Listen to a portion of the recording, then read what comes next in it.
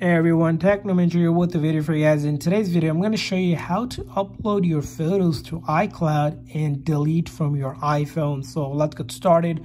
So first thing you want to do is go into your settings. From there on, tap on your Apple ID account and then go down here to iCloud.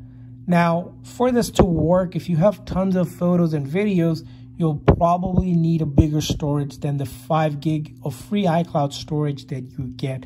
So you want to go down here where it says get more iCloud storage, tap on upgrade, and select one that best fits your need. Now, as you can see here, I recommend somewhere between 200 gig to 2 terabyte if you have a lot of videos and photos to do one of those options. Now, once you have gotten a bigger storage, you're going to click where it says save to iCloud, tap on photos, turn on this option sync this iPhone, and then you're going to select optimize iPhone storage.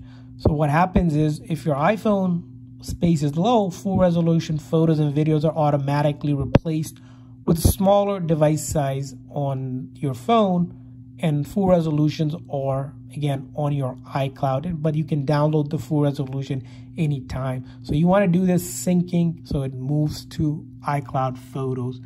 But the second part is that you might be wondering, this is just basically mirroring it to your iCloud, but your iPhone photos are here. The next thing I would recommend is if you truly want to remove them completely is go ahead and select the photos that you want to save so if you want to save the photos, videos, you can select all of them, or I'll just show you one or two as an example. You're going to click on that icon right here for share, and you're going to want to go ahead and save this to the Files app, which is Files app, and then go back and then back to Browse, and you're going to want to do it in your iCloud Drive. So iCloud Drive is different from the iCloud Photos, and you can create a new folder or use one of this existing one. So I'll go ahead and create a new one, new folder called possibly photos, right? Backup, hit done. And then once I open that, click on save.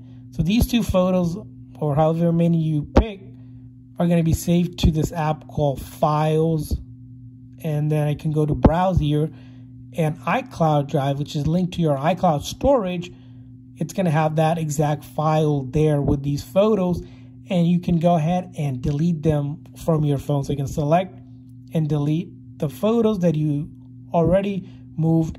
That way, these photos are completely deleted off your phone. However, in your iCloud Drive right here. So that's an option as well. So that's how you do it. I hope this video was helpful. If so, please consider the like and subscribe button for more tips and tricks for your iPhone. See you guys next time.